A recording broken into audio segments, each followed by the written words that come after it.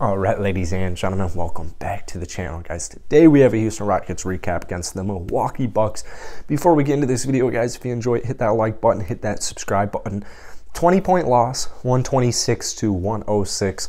Um, the Bucks were without Giannis, but Jrue Holiday and Khris Middleton made their return. The Houston Rockets get to, I think, 10 and 21 now. This was a pretty ugly game, man. I mean, we weren't making shots we, we weren't making shots from the field. We weren't making shots from downtown. We weren't making free throws.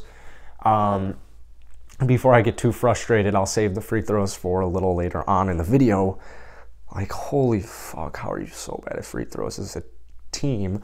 Uh, but anyways, you know, a lot of turnovers. Um, but you know, the Bucks are defending champions, and I tried to mention this a lot in my stream. Is like you know, I understand they were without their best player tonight, but um, you know, we're without two starters, so keep that in mind. And we're on the road. Milwaukee's hungry to win these basketball games. They're, you know, I think what the fifth seed in the Eastern Conference, and they, like I said, they won the NBA Finals last year, so they're definitely not happy. Um, it's okay, man. It is. It's definitely okay. A couple of things tonight you know, Jae'Sean Tate, man, 2 of 10 from the field. He pretty much fouled out in like 14 minutes. Um, you know, maybe I won't talk too much about Jay Tate. I'm still very much thinking maybe not trade him talks, but, um, you know, I, I do think long term power forward, I, I, think it's becoming a little evident that, you know, Jae'Sean Tate – while he's showing flashes where he'll go like, I mean, what he dropped the other a couple of weeks ago, like 30 points. Um, he'll show flashes, but uh, as far as long term starting power forward, not only does he not really kind of fit our timeline, but um, I mean, he just he's such a bad shooter, man. He's such a bad shooter that I don't know that surrounding him with guys like KPJ and Jalen Green, I don't know if he's necessarily the best fit for those two players. So Moving on, Christian Wood, man, he's been getting aggressive, and I absolutely love it. I mean, I absolutely love it. 20 points, 11 rebounds tonight for him, 6 of 13 from the field.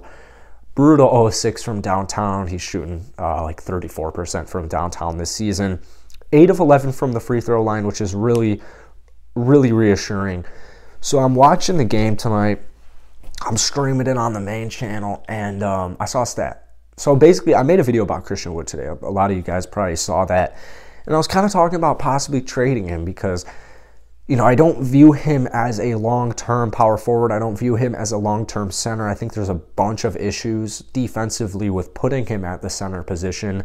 And I'm just thinking, like, you know, I like him, but his added, you know, his heart doesn't seem to be in Houston anymore. Um, I don't, you know, like I said, I don't think he fits the timeline. He seems to be growingly frustrated as the season is progressing, as I'm sure a lot of the Rocket players are. But you got to keep in mind, man, Christian Wood came to this organization assuming he was playing with James Harden, assuming he was playing with Russell Westbrook, PJ Tucker, Eric Gordon, competing for the NBA Finals. So, um, as far as Christian Wood coming back to Houston, I would imagine you're going to have to pay him a lot of money. So, since he's on one of the most team friendly contracts in the entire NBA for a borderline all star like he is, I think you might start. I think I think we should start talking, or at least like getting our brains okay with the fact that you know a trade might be in our best scenario. Because the thing is i love christian wood. He was a huge huge force last season and we'll always remember it but i just don't know if it's the best fit anymore.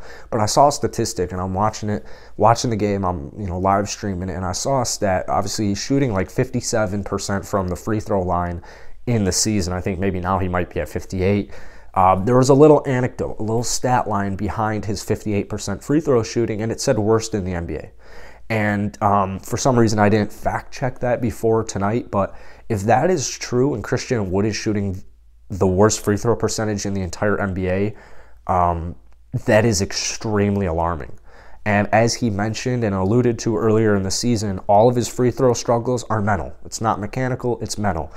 I don't want a mental head case on the free throw line. I, I, really don't understand how he is struggling so much from the free throw percentage, um, but the whole team is, and it's it's it's it's spreading like a virus right now, man. I mean, 67% from the free throw line tonight. It's like this every single game, and it's it's contagious, man. And it's not like it's just Christian Wood who's having a bad free throw percentage season. It just adds up, man. You had one from Garrison Matthews tonight, one from Eric Gordon, one from Nwaba, two from Sengun. They just add up. Like it's just adding up. And you look at the team like the Bucks tonight, who shot what was it, 95% from the free throw line. I'm gonna just double check this for you guys. 91% from the free throw line. It's like the Rockets missed out on possibly 10 points. Let's say they made seven of those 10 that they missed out and they shot a similar stat line to the Milwaukee Bucks. You're looking at like seven to eight points right there. I mean, maybe not in this specific game that would have played a part, but like, I mean, you're just putting, you're missing so many points. like, it's just so frustrating. Because um, the thing about the Houston Rockets is they lead the league in free throw attempts. So if you're leading the league in free throw attempts and you're struggling this much, it just is cause for concern.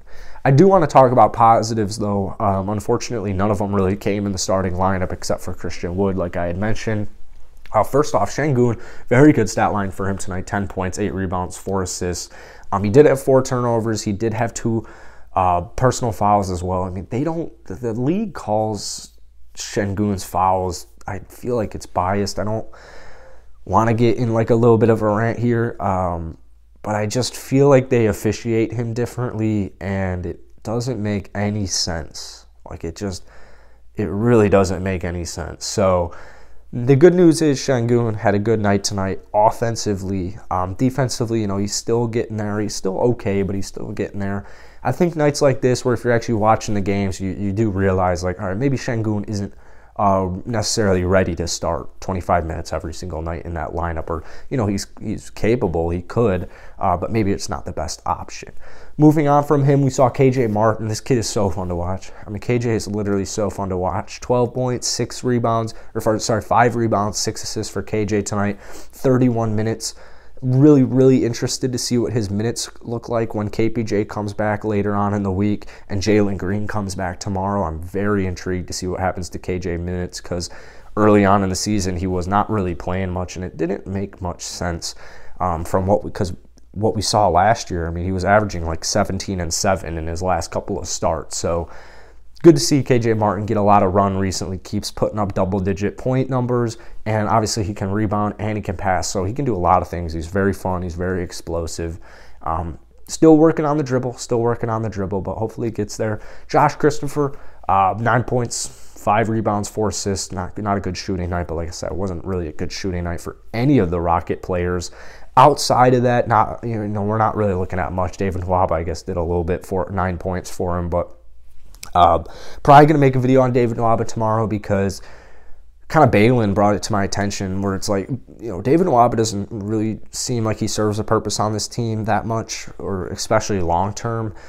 Maybe should have gone with Sterling Brown over David Nwaba, but uh, if I'm a contending team, especially like the Nets, who we took him from, I would want Dave Nwaba, who isn't an offensive liability anymore, and he can also just play like he's one of the best perimeter defenders in the league, like one of the most consistent perimeter defenders in the entire league. So I would want to make a trade for Dave Nwaba if I'm a contending team. I wouldn't mind him on my Chicago Bulls. So that's it for today, guys. Another, you know, same as the other day, uh, another little bit of a depressing or recap video. I hate doing these uh, when they're blowout losses, but hopefully Jalen Green comes back tomorrow, drops like 30 points, which I would not be surprised, and we can get back in that winning circle. So hit that like button, hit that subscribe button. I'll see you guys later.